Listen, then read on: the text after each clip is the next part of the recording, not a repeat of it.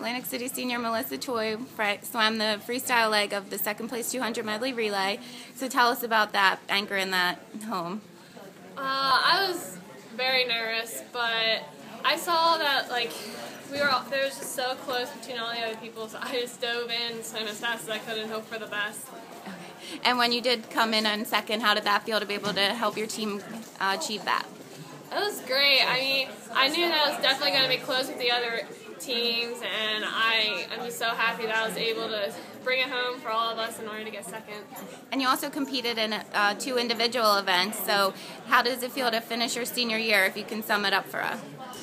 It's great. I mean, I couldn't be happier with how I ended the season. I mean, I swam great. I got best times in both my individual events. I swam great in the relays. I just couldn't ask for a better end to the season and um, you're going to swim in college. So, how does that feel to be able to take this experience to the next level?